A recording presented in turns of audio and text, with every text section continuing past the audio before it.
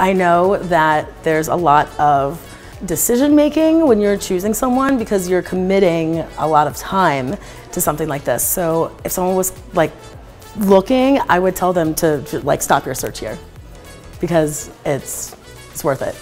The team of women, very knowledgeable, completely professional, always made me feel comfortable too. I felt like they always put me first and with my needs and my comfort. You gotta put a lot of trust in these kind of people. So I really feel that she's like, I said this before, she exceeded all my expectations.